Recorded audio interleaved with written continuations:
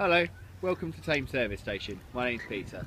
Today I'm going to show you around a nice little part exchange we've just taken in. This is a 2009 Ford Ka Zetec finished in hypnotic silver metallic paint. This would make an ideal first car or a second family runabout as it's economical and one of the lowest insurance groups available. Complete with aux-in for MP3 player and the all important heated front screen so it's ready to drive away. What's more, this car has just been through our dedicated preparation centre for a service and a thorough 100 point check.